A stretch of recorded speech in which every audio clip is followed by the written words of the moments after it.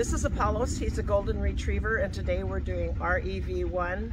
Apollos is going out in a rolled leather collar, and I'm using a six foot leather leash.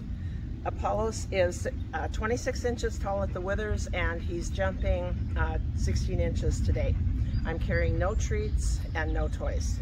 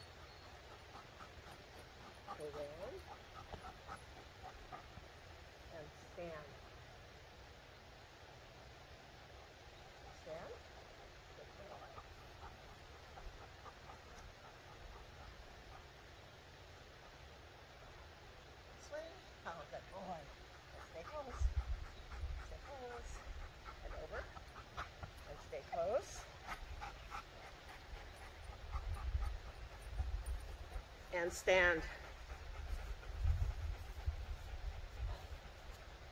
and line up. Good boy. Thank you.